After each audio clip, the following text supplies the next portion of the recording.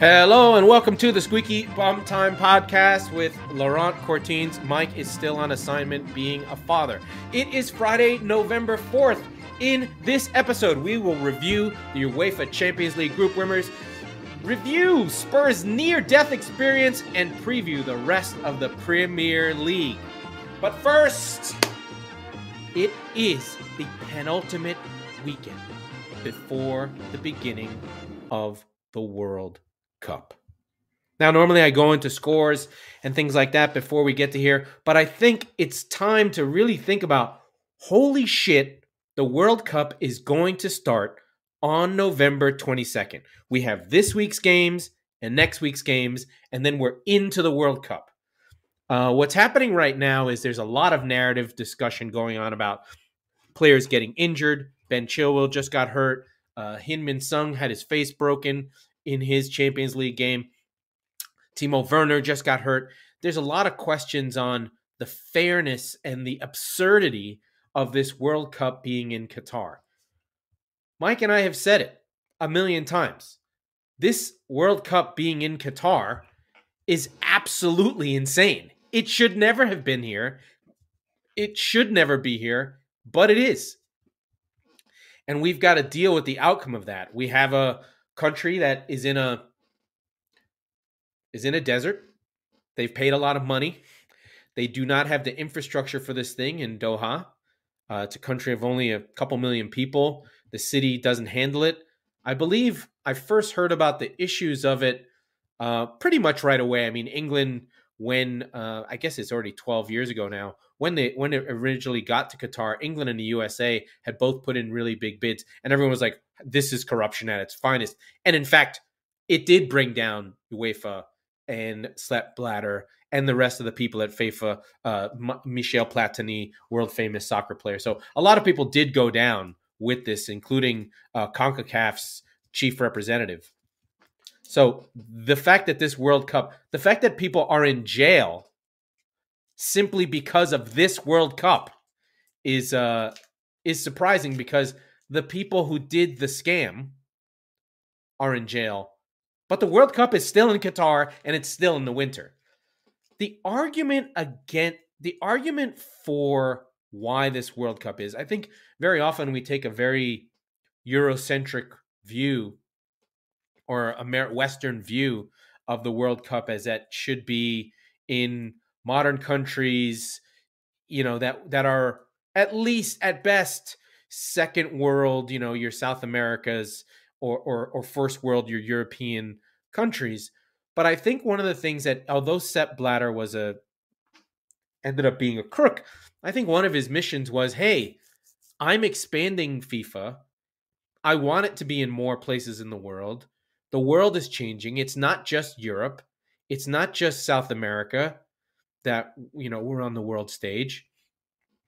It is Africa, it is Asia, it is the Middle East, and these countries deserve an opportunity to have the World Cup while they pay me millions of dollars.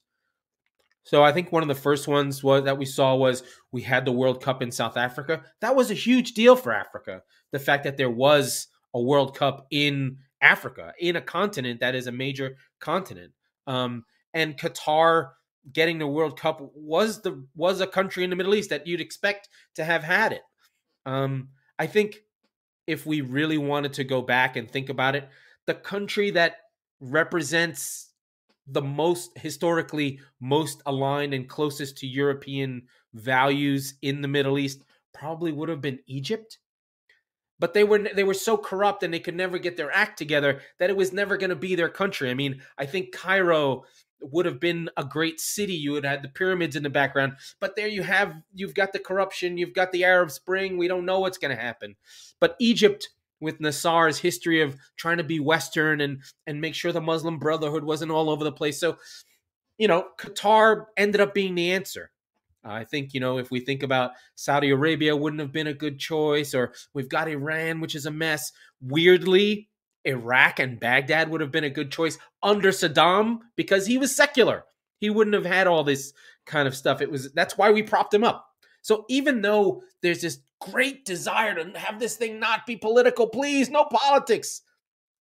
Sport reflects society, society reflects sports, and of course it's political. Uh, there was a, a note from Gianni Infantino today that said that teams should keep their politics to themselves. One of the mandates of FIFA was that we we leave politics aside, same way we have the Olympics. We leave politics aside. And I, I, I think I fundamentally agree with that because what other way do we show some of these countries what Western life is like? Right? I don't know. I mean, it, I, I'm of two minds. I think Gary Neville has been labeled as a um, as a hypocrite by lots of people. Uh, True Geordie and his gang on on Twitch talked about it. Lots of podcasts. There's been a you know talk sport topic at least once. Whether Gary Neville, who's probably the what's the equivalent in the U.S. the Charles Barkley of uh, of England, a very honest, very political. He says what he wants.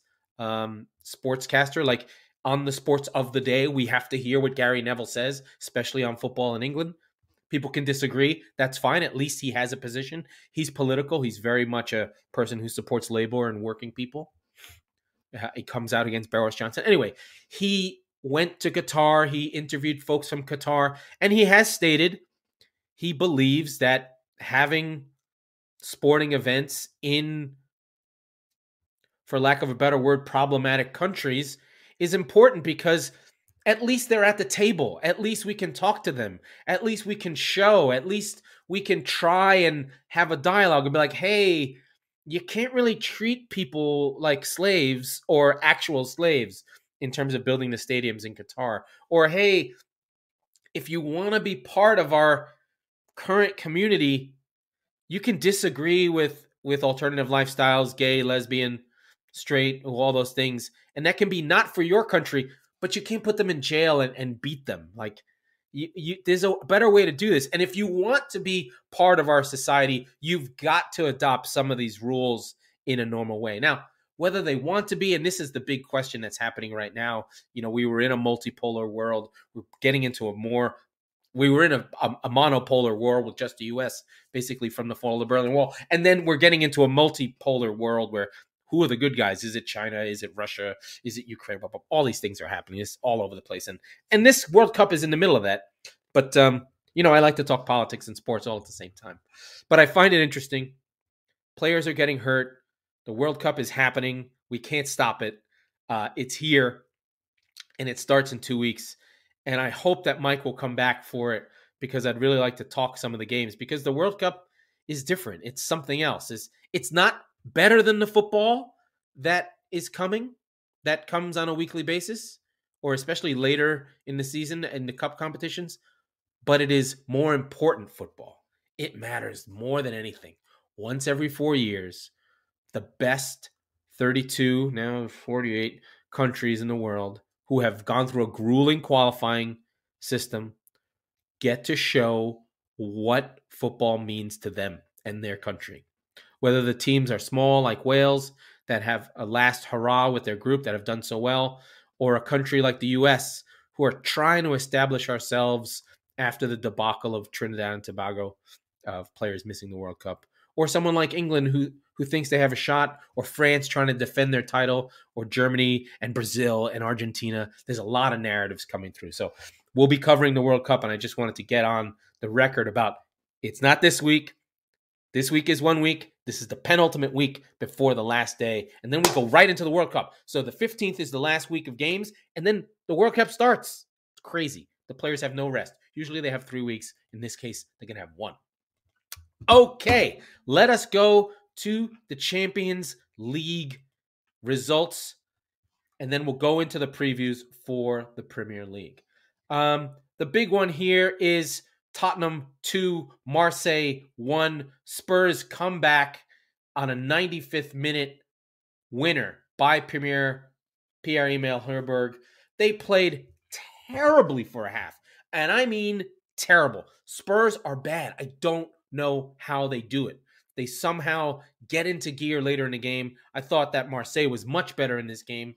Chancel Mbemba with a headed goal where he's unmarked on a foul that is not called but then called and they let the there's a miscommunication between um, my boy Sessegnon and a defender it went off his legs. He's supposed to shot, and Bissouma they miss it, and they get a corner, and then Chancellor Mbemba scores the corner. So Marseille spend the break halftime up a goal.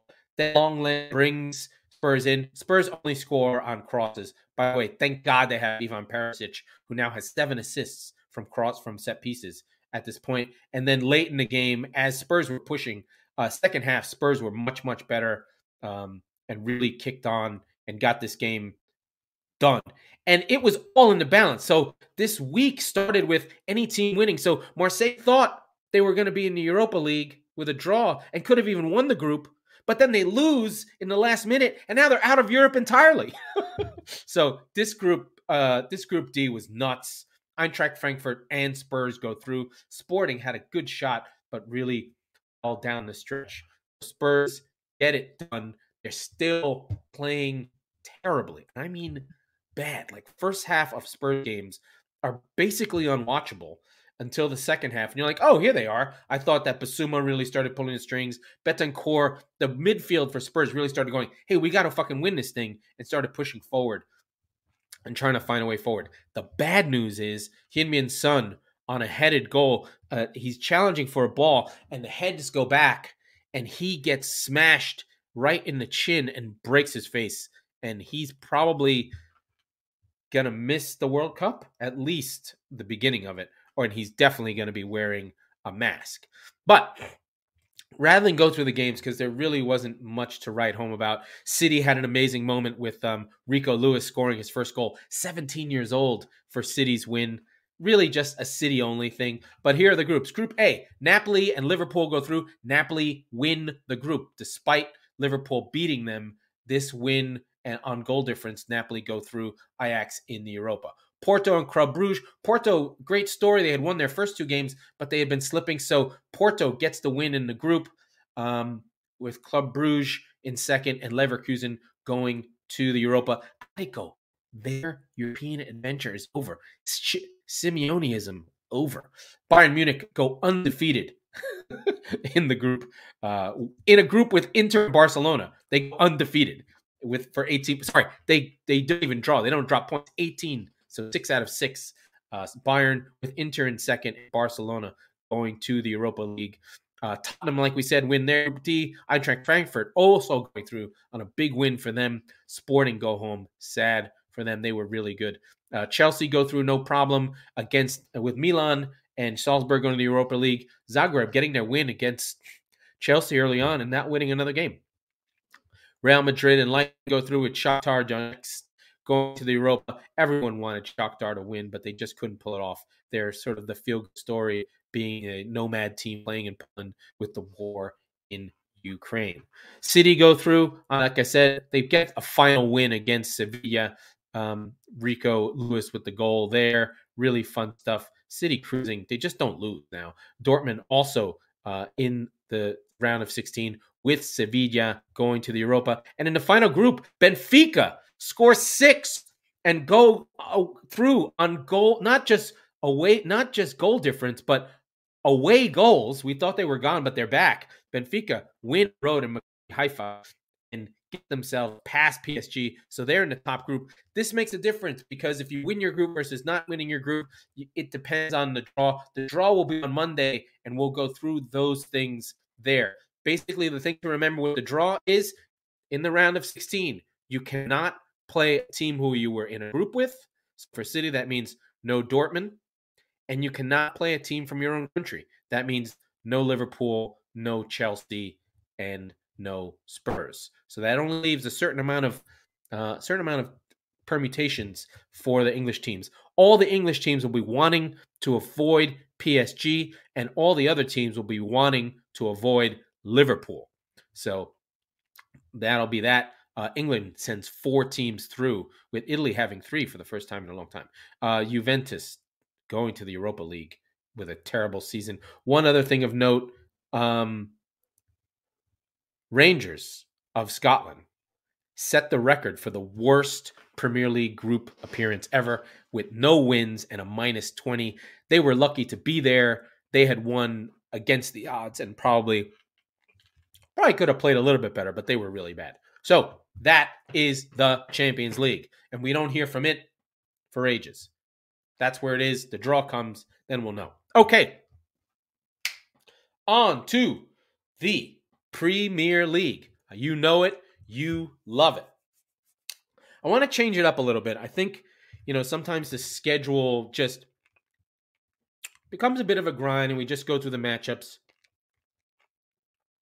And I think I'd rather kind of go through the table and sort of discuss um, the narratives for each team about where they are, where they stand, where their season has been, what the story has been, uh, and you can disagree or dis- or agree or whatever. So let's let's just go through the table, say where teams are, see where things are like that. So you can always just look at the table, but let's start at the top for the sake of for the sake of um, programming, just so we get an understanding of where things are. And then, you know, if you want, we can go, go through the schedule afterwards. But let's sort of paint the story of the league right now. So Arsenal, what's Arsenal's narrative? Arsenal's narrative is: Are they ready to win the league? This young team with a young manager, do they have the metal and the players and the depth to handle a full Premier League challenge. Uh, every game they win is another feather in their cap. So we continue to see as they go through big teams, big teams. They beat Spurs. They they lost against United, but played well. They beat Liverpool.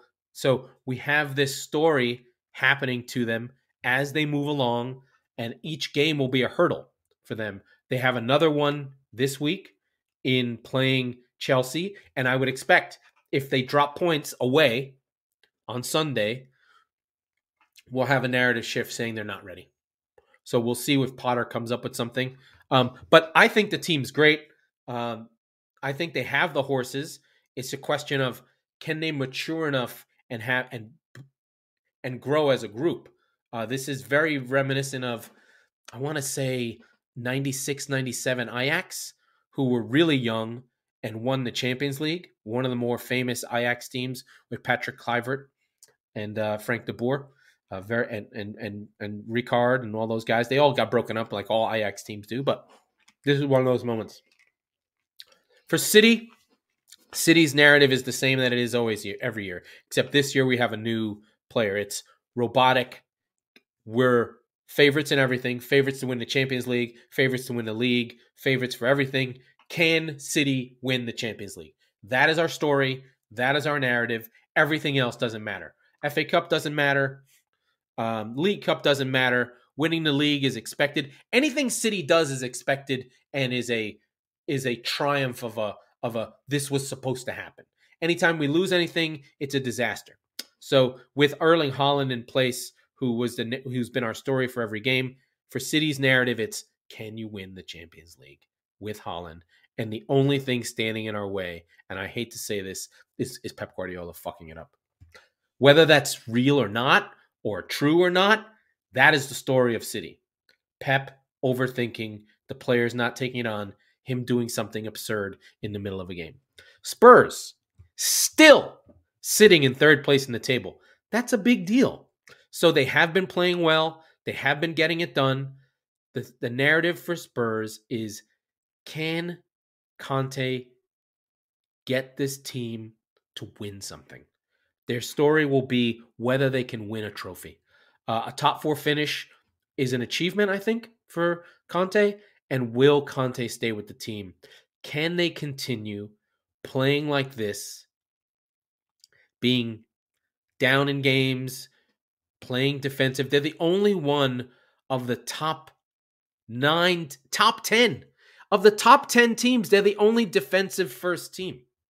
Arsenal are attacking progressive, uh, attacking. City, Newcastle are now. United are trying to be with Ten Hag. Chelsea under Potter. Even Fulham are an attacking possession team. Brighton, Liverpool, Crystal Palace, all the way down to Crystal Palace. That's 10 teams, all playing on the front foot, progressive, attacking, possession based positional football. And then you have Tottenham who are still playing Italian football from 10 years ago.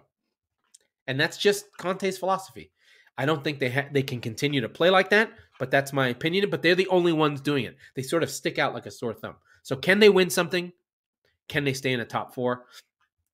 Newcastle United sitting pretty in fourth, doing really well, playing really well. They don't have any European commitments, having finished, um, you know, tenth last season.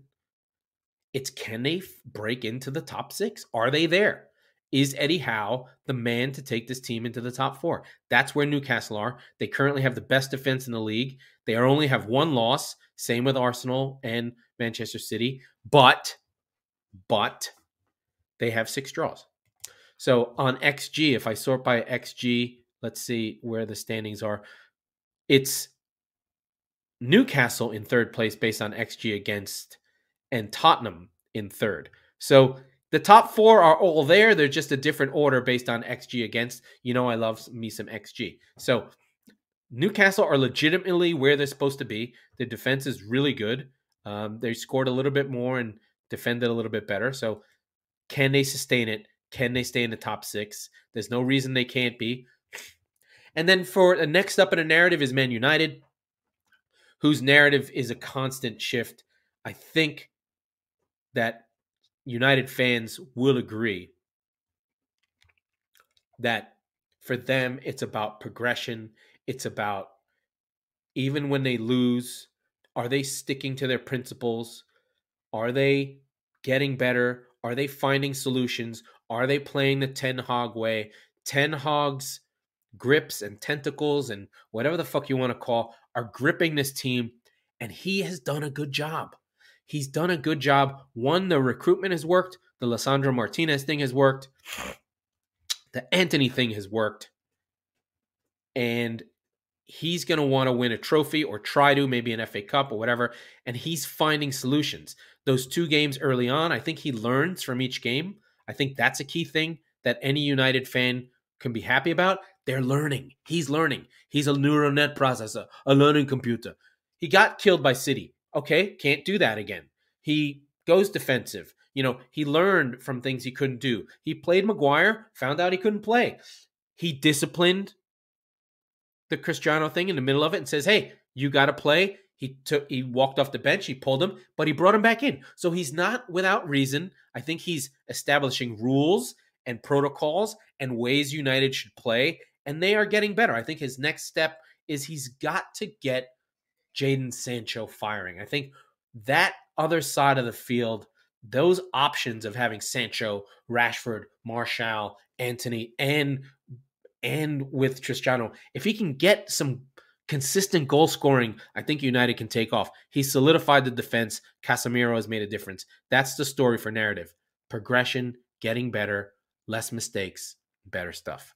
For Chelsea, they already changed their narrative. Theirs is already turmoil from Boehly into sacking Tuchel, now under Potter.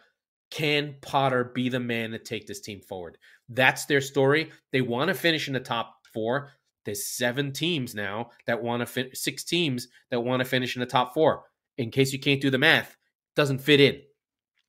So Chelsea will try and continue. They have a good squad. They have a manager who can use that squad, but can Chelsea find the consistency under Potter to take on what he's saying and and play more consistent football? They're right there as well.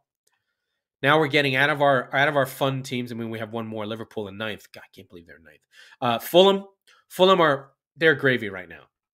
Uh, Marco Silva's got this team playing well. Palhinha has been the player of the season from a bottom from a other 14 perspective. Best defensive midfielder I've seen come in new to the league, standing there with Harrison uh, Addison Reed, and they have Mitrovic. So they're playing well. They're where they need to be right now. For them, it's just keep playing, finish in the top, Maybe late in the season, there's a chance for Europe. Next is Brighton. They got all their wins early under Potter. Potter gets the Chelsea job. Now, can De Zerbi get his ideas in and can they move forward? These two teams, Fulham and Brighton, are just this new middle class of super progressive, well run clubs that are trying to stay in the league and do new things. Uh, I think for Fulham, there's a fear that Marco Silva, where would he go? I don't know. I think being at Fulham is a good spot. And then De Zerbi, can he get his stuff going and keep Brighton where they are? Next up is the ever disappointing Liverpool.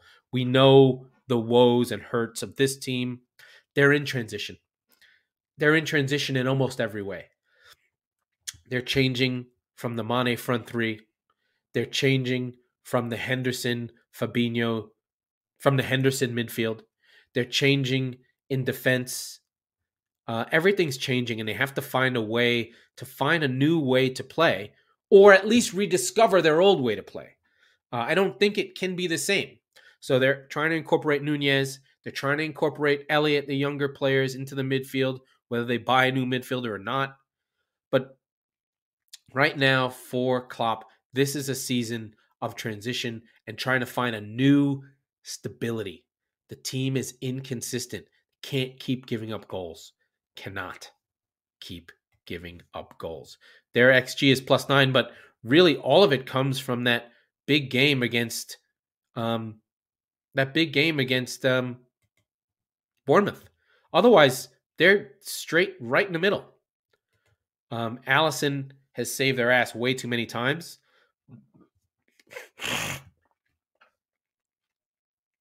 And they're just hanging in there. I think, you know, injuries have been hard and all these things, but they've got to get themselves together. So the narrative for Liverpool is can they get consistent? Can they find a way to get back into the top four? That's going to be a real struggle for them, right? As it stands right now. They are four. Oh my God. They're eight points out of the top four. They can do it, but we haven't seen it. Next week, Crystal Palace, same record as Liverpool, four, four, and four. Crazy. For Palace, it's is Vieira the man to keep the team the way it is? Can they keep playing this attacking style? Um, they're trying to incorporate all their attacking players. And I guess this is the season.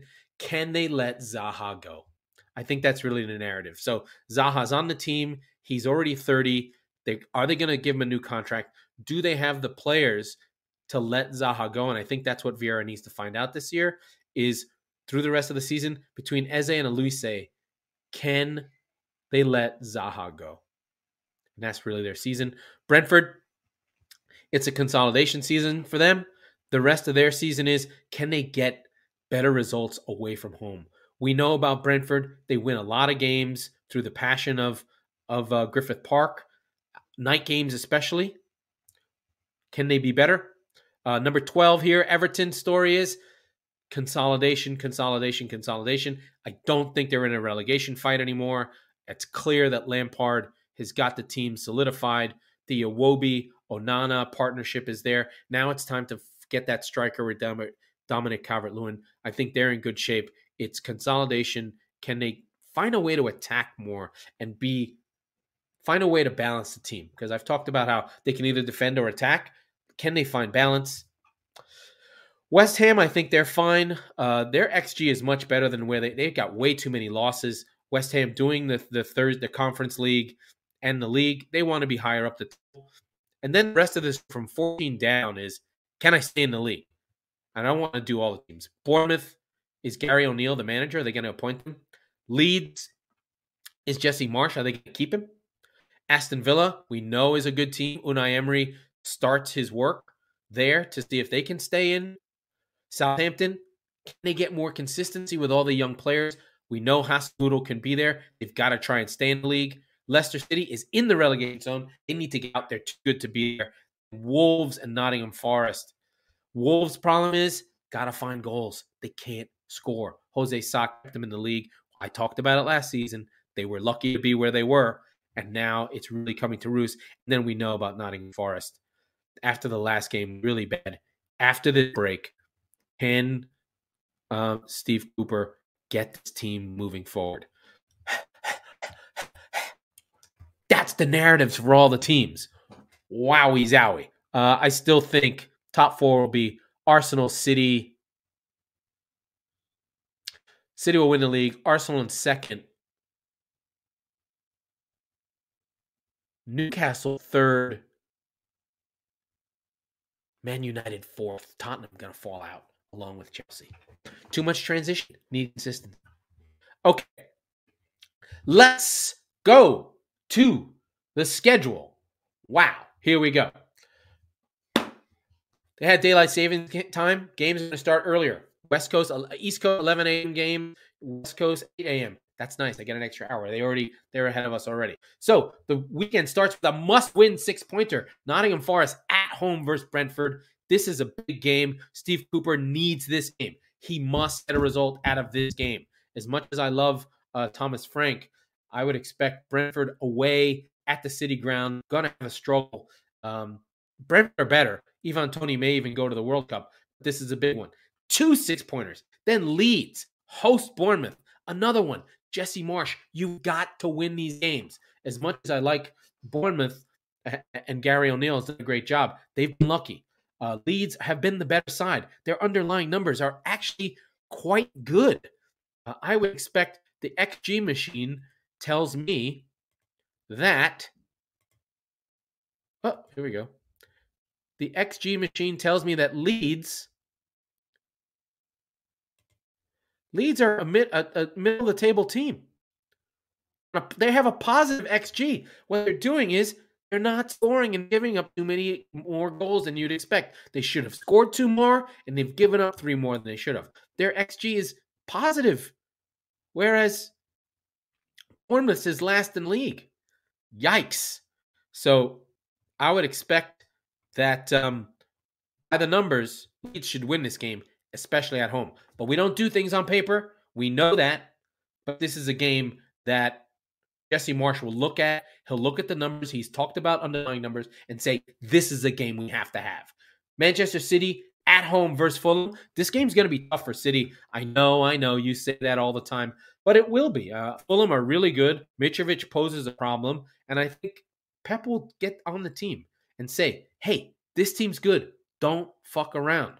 Uh, I expect City. This will be an open game. This will be a good game. I think City will score some goals. Questions on whether Haaland will play? My guess is no. He's been out with a foot, so we'll see what happens there. Uh, Julian Alvarez played well. Did get a goal in the in the uh, Champions League game, so we get to see more of him. Then Wolves play Brighton. These are all the Saturday games. Uh, I'm more interested in to see how Brighton play. Wolves are terrible.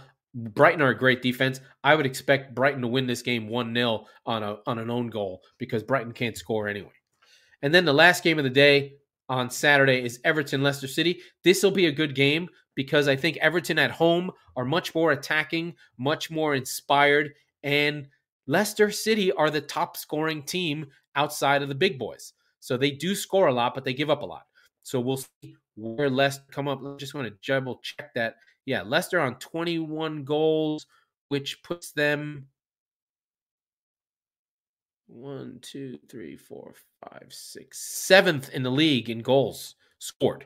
So they're a good scoring team when you compare that to Everton, who only have 11. They've scored 10 more goals. They've had some barn burners where they've lost, you know, three, six, three, or stuff like that. But Leicester should, should like their chances.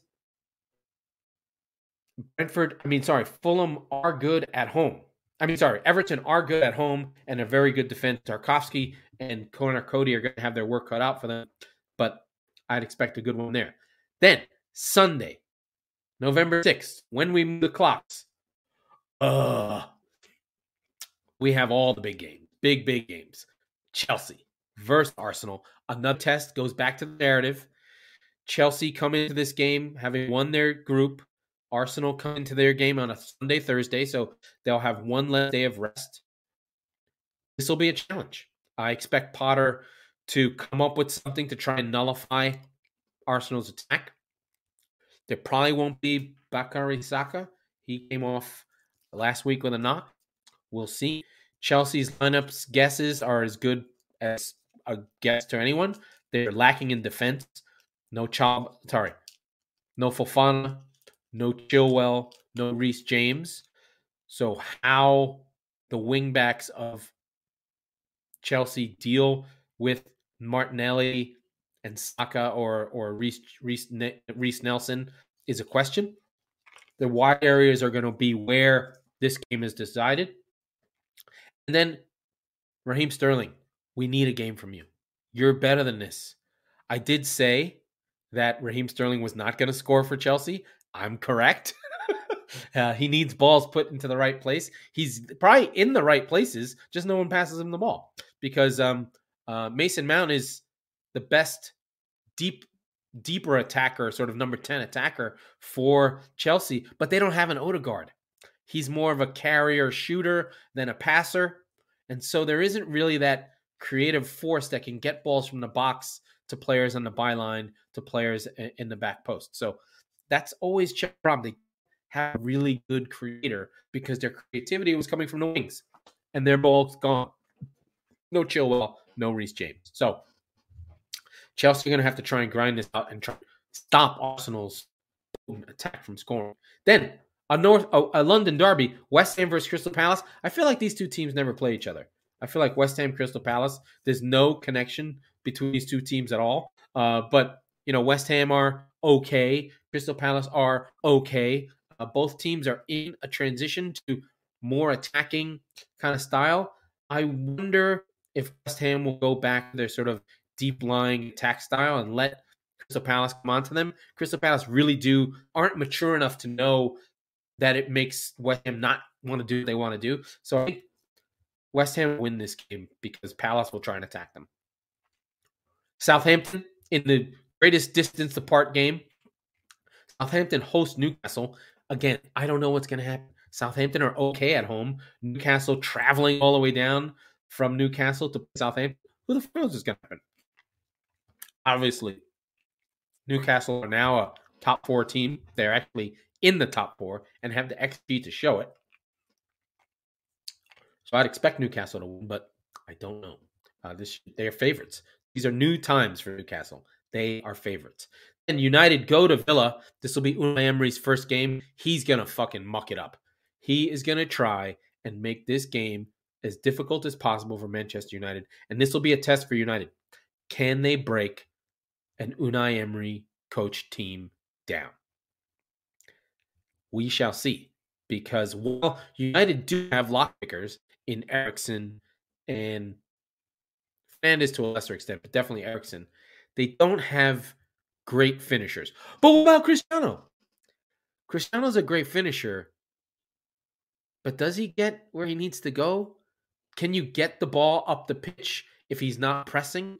So he he giveth and taketh away. Yes, if you could just put him in the box and not have to get to the box, he's great, but I don't know.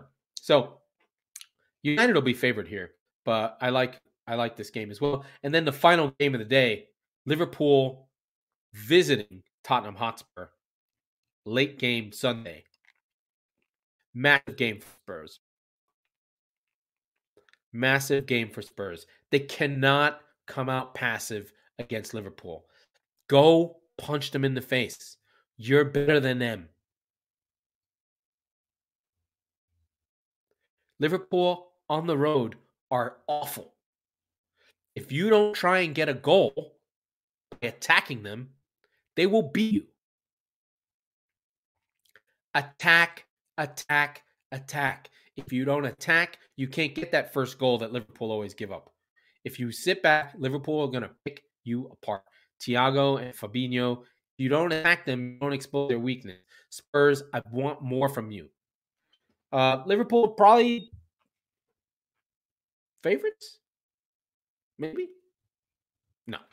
Tottenham at home are favorites. But still a tough game. Still difficult.